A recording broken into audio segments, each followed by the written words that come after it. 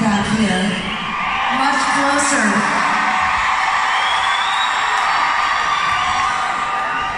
You're looking good. Okay, so before I carry on with the music, I just want to verify something because, you know, I'm Canadian.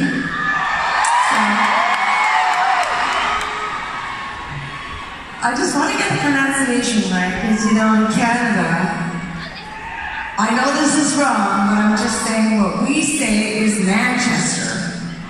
Yeah. But that's not offensive, is it? Okay. But I know that it's Manchester. Is that better? Manchester. I don't know. Okay, well, I'm going to find out from somebody local on how to actually pronounce it properly. But what I do have to say is, um, you know, after all these years, I just want to thank you guys for, first of all, for accepting this Canadian girl from all the way over on the other side of the world.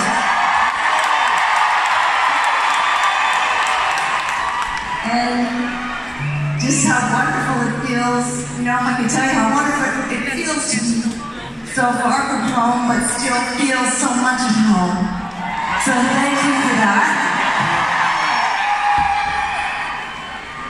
And this is very much a dream. I know there's a lot of you out there that are definitely were way too young.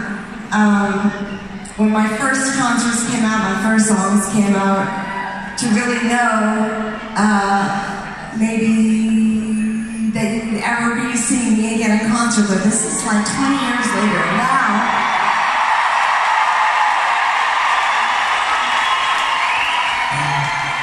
we're all back together again. So it's an incredible feeling for me, and I thank you for sticking it out with me all this time.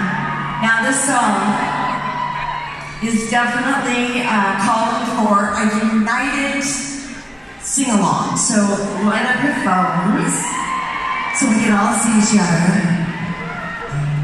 In Manchester, you're still the one.